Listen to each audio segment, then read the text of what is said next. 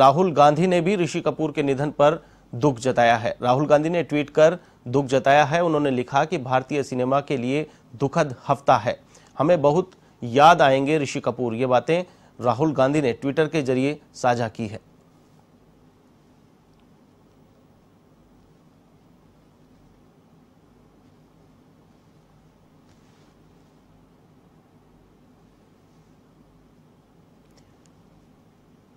Film अभिनेता ऋषि कपूर के निधन पर राहुल गांधी ने शोक जताया है। ट्वीट कर उन्होंने दुख जताया है। उन्होंने लिखा, हमें बहुत याद आएँगे ऋषि कपूर।